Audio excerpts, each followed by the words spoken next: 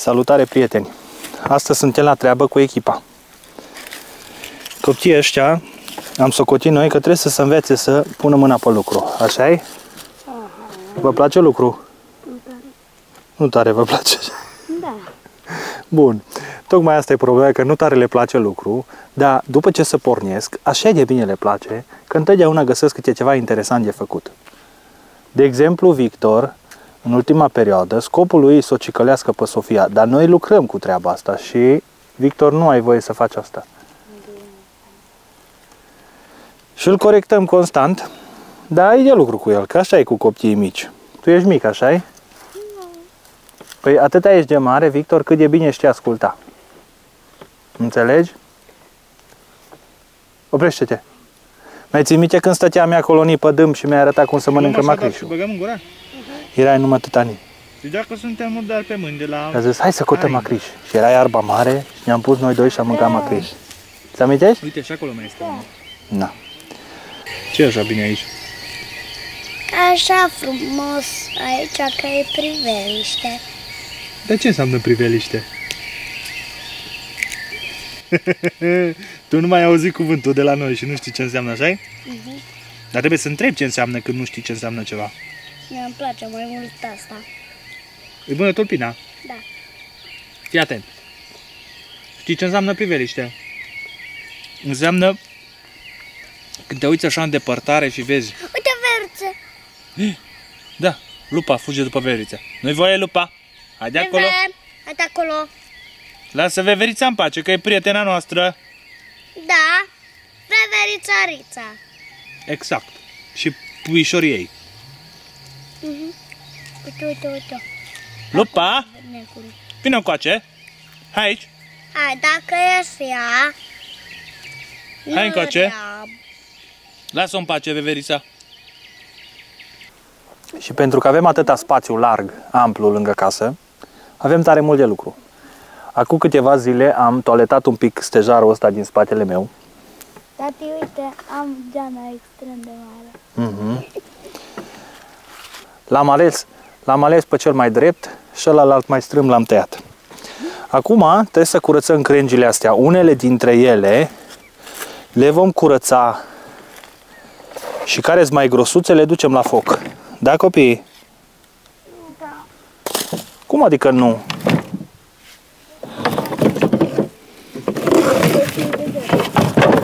Să vezi tu ce mâncare bună vă face mămică ta la foc de lemne pe plita aia? Cine vrea să lucreze cu sabia și cine vrea să lucreze cu toporul? Eu am zis prima. Sofia au zis prima sabia. Dar tu ești expert la toporia. Că astea sculele astea două sunt frați una cu alta.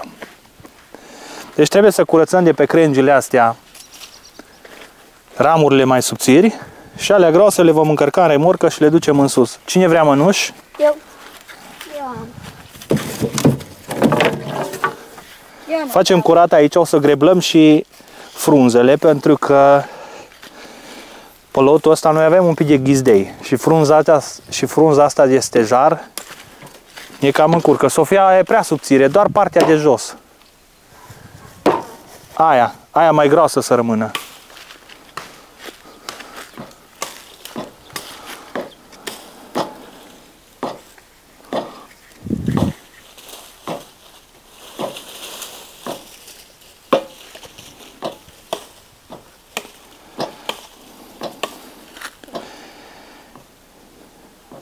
Pe terenul vecinului este un stejar foarte mare și noi avem aici câțiva. Avem câțiva mai tinerei pe care i-am lăsat. Dar pentru că au rămas și crengi din toamna trecută, am mai tăiat un prun din colțul ăla pentru că nu producea nimic, doar umbră. Pe zona asta avem ghizdei și frunzele astea o să le greblăm frumos ca să poată crește ghizdeiul. Pentru că stejarul, frunzei de stejar, îi ia vreo 2 sau 3 ani ca să se descompună. Și atunci aia cam acoperă pământul și sufocă iarba. În cazul de față, ghizdeiul nostru. Tati, vrei să învăț să numeri cătăniar în copac? Mă înveți tu pe mine cum se numără? Nu, hai, învață-mă. Ce faci? explică ca să știu ce faci acum. Trebuie să... Ăsta e unul. Așa. Stai un pic.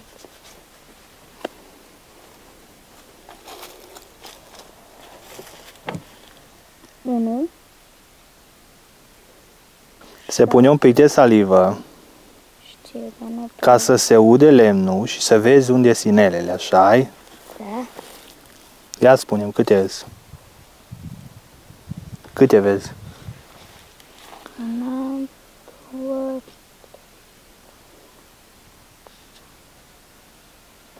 Zece. Vreo 10, așa Zece ani. Nu, am învățat ceva de la tine astăzi. Nu, hai să te învăț eu cum se umple remorca asta Știi? și cum urcăm cu ea. Nu-i voie, Ia mâna. Victor. Ia mâna. Faceți curând, hai să spun. Când obosește unul, face Am celălalt. obosit Bine? deja, eu am făcut mai înainte. No, bun. Uh, Nu te mai dau. Păi, nicio problemă, că Sofia știi ce faci tu dacă ai obosit? Noi îți curățăm crengi și tu le arunci frumos în remorcă, bine? Victor, apucă-te cu alea de acolo. Uite așa. Știi și tu cum se face? Dar nu ni le trebuie toate, așa că asigură-te că... Ia, Sofie. Ia uite ce fain mi-am găsit eu aici un boc de lucra pe el. Cu sabia era mai ușor la astea, dar n-avem numai una. Uite așa. Ar trebui totuși să-mi dai drujba să-l îndrept. Sofie, dăm te rog drujba. Dar o să fie mai ușoară. Nu că mă încurcă, mă încurcă ciotul ăsta. Ăsta pune-l în remorcă, te rog. Asta, ești capitan. Acum mă faci capitan. Păi eu nu sunt capitan, Sofia, dragă. Nu, da. Eu sunt admiral de flotă. Mai, mai. Știi ce e la admiral? Nu, dar tu nici n-ai fost în armată. Păi n-am fost, dar asta nu înseamnă că nu sunt capabil. Îți dau eu o creangă potrivită, ia asta ți-o dau. După aia voi vă uitați la ceas și ziceți, no, unde ni plata sau unde ni pauza. Așa faceți voi. Tot, că nu mai stă acolo să se uite. Nu stă, că ea încarcă de la noi remorca, tu nu vezi? Uite pe lui. E drept că dacă ar sta numai după tine până cu restul dau o crengi și și blochez scula aia bună, de eu trebuie să mă chinui cu asta la alte. Da. Important e că vrei să faci și atunci Nu vreau să știe. important e că ești motivat să lucri un pic și atunci îți lași scula care te place ție. Hai să picăm obos. Ok.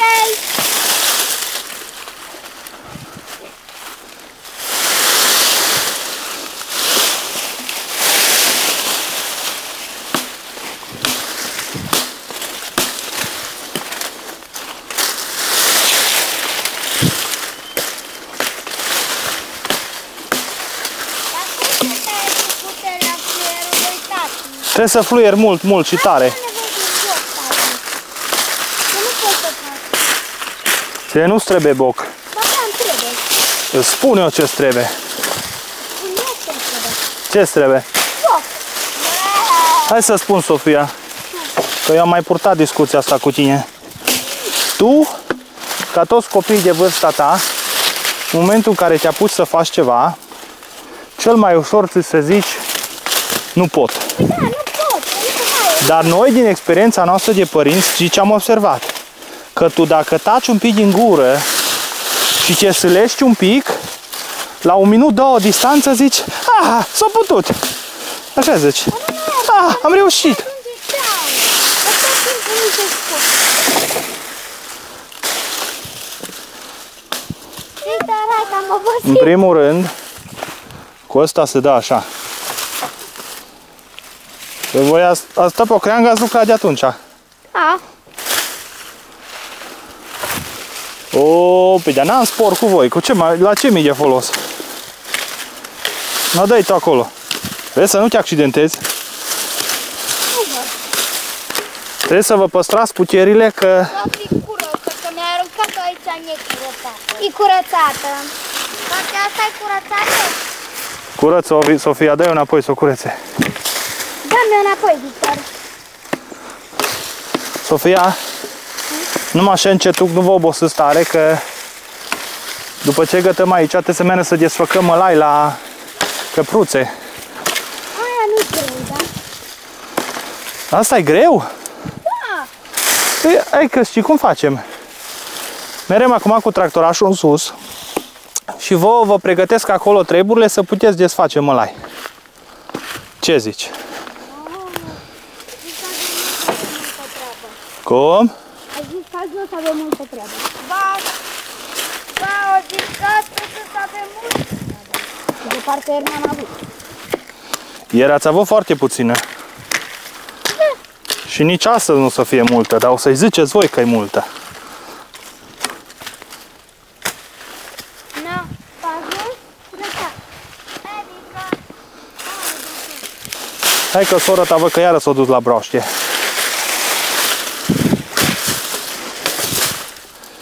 Numai câte unul dată, nu câte două. că e din familia broastelor. Păi dacă e din familia broaștelor, înseamnă că tu ești broscoi, că ea e rudă cu tine. Nu e rudă. E rudă.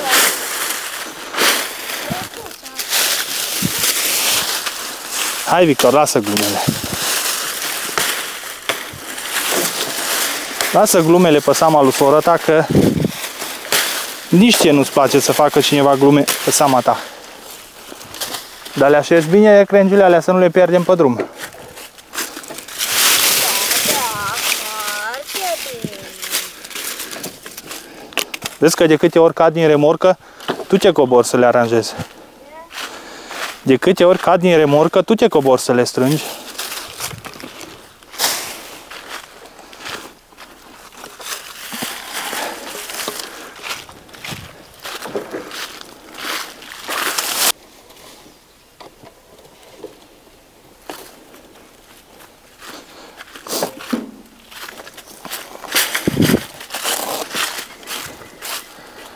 Oameni buni, ăsta e video de astăzi.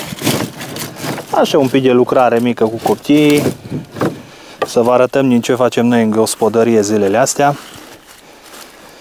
Și dacă, aju- dacă ați ajuns până la final, suntem curioși să ne spuneți reacțiile, Dacă v-a plăcut. să ne spuneți dacă v-a plăcut și să ne lăsați reacțiile voastre în comentarii. Dați-ne un like dacă vreți să ne ajutați cu algoritmul YouTube. Vă mulțumim pentru vizionare, vă salutăm și ne vedem data viitoare. Data viitoare.